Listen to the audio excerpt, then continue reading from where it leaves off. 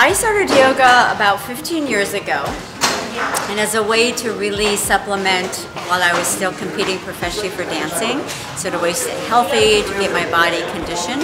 So about 15 years ago. Oh my gosh, the benefits are so many. You know, the practice of yoga, even though you know, a lot of it is the physical postures, but there's that meditative quality, the mindfulness. When you put it all together, I think it's about the health of the body, the mind, the spirit. The word yoga means to unite, to yoke. So it's connecting all those layers of ourselves, I think, which is important because I think sometimes in exercise we just think about it as physical, but in yoga we think about it as a whole, one piece, as a unit mind, body, spirit. So the physical benefits of yoga well, one, of course, is flexibility, right? People come to yoga because they can't touch their toes and they want to touch their toes. The other is it eases the nervous system. So we've got that fight or flight system. Yoga helps us soften that, right? Brings us into that system that says everything's okay, let's rest, nobody's chasing you, right?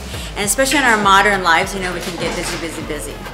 Um, but I also think that yoga because it's a posture that you're really just using your own body weight, that it's you, you're using them you're using your own body weight for the condition for the muscles. And you're holding some postures a lot longer so you build concentration and focus. And because if, especially if you're doing like a power class or a power vinyasa you're doing all those high to low planks the whole entire body gets conditioned. My pre-yoga routine.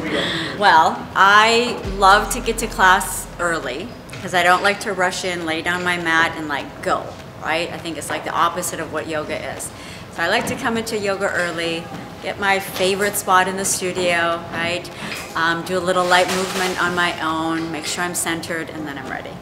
Dayo is where yoga meets dance. We're using music into yoga, we're infusing music into yoga. Um, and we're moving breath to movement into yoga with different rhythms, right? So traditionally, music is used in yoga, but it's really used kind of as a backdrop and to give like a feel of that particular class or a flavor of that particular class. In Dayo, we directly use the music and the rhythms as we're flowing. So sometimes you might be moving slower, faster, you might be using different rhythms of the music, and I think that's really what's unique about it. The style of yoga that Dayo is based in is called Vinyasa Yoga, and the Vinyasa style yoga the definition, one of the definitions really is breath to movement flow. And for me, whenever when I discovered Vinyasa Power Yoga, I loved it because it felt the most like dancing. You're connecting one movement to the next, to the next. And that's what really got me hooked on this style of yoga. So I decided to do that for Dayo because one, we wanted to marry the two, dance and yoga together with the music. Um, and hopefully, what, what, you experience when you go through it is that you get that sense of dancing, but you're doing yoga movements as you're dancing. You could do yoga every day. One, because there's so many different parts of, of, of yoga. You could do the physical yoga, you could do a 10 minute quick meditation like we have in the program, um, you could do a full hour class. I would say, like, if you're just getting started, try it out a couple times a week, right? It takes some practice to getting used to, right? It's like anything else. Eventually, if you're like me, I just started getting hooked on it and I started just doing it every day, right? I don't think you can do too much yoga.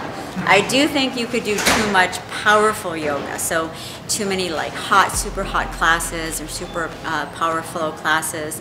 You got to kind of find balance, right? Some of the powerful classes with some of the more slower, slower restorative classes. I encourage you guys to come try out this program, Dayo, Yoga and Dance, married together. You'll get some good music, some fun flows, lots of different ways to move the body. We have a cardio section, we have a normal vinyasa power flow. We also have some sculpting in there. So come check it out. I'll support you along the way.